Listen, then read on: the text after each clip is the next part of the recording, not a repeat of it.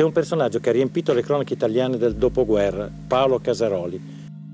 Cresciuti nel clima di guerra, eh, dove naturalmente un'atmosfera tutta, tutta, particolare, intraducibile a parole, bisogna avere viva la sua esperienza, gli amici che morivano sotto i bombardamenti e si trae la conclusione che la vita è, un fatto così eh, provvisorio. provvisorio, che eh, in, questo, in, questa, in, questa, conformazione mentale eh, dopo il dopoguerra, nell'impossibilità, proprio nella lotta della sopravvivenza, ecco, proprio una sopravvivenza quasi animale, eh, si demmo appunto all'assalto alle banche.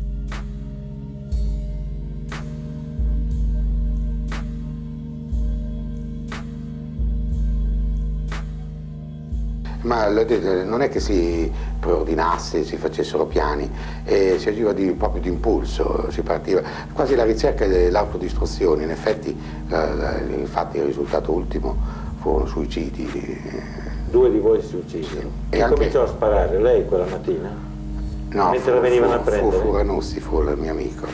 Sparò ai poliziotti? Sì, adesso immagino questo mio amico Ranussi era un partigiano della settima GAP poi ce n'era un altro invece che era, era tenente delle Brigate Nere. Si chiamava? Eh, Faris. Poi c'era un altro De Luca che era del servizio segreto tedesco. Eh, eh, insomma, per dirle, insomma, gente che... Un po' di tutto, ma quanti morti ci furono quattro, in tutta questa storia? Quattro, quattro morti. Due che si ammazzarono. Sì, poi ci fu, ci fu oh, un tassista un, un poliziotto, un tassista che poi era, era, fu colpito da una, da una, una pallottola vagante, che, poi ci fu un ex maresciallo dei carabinieri, poi ci fu, eh, eh, ci fu il, il, direttore di banca. Eh. eh.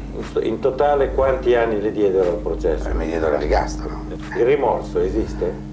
No, perché il fatto che eh, eh, le, le, la morte dei miei compagni, che fu per me un dolore atroce, il fatto che condannato all'ergastolo dei poliziotti, sì, d'accordo, ma vede, a un certo punto c'è una compensazione, sai come dire, io pago eh, le, le, le, quello che vado scontando è atroce, il dolore che ho sofferto è atroce e pertanto sono pari, ecco.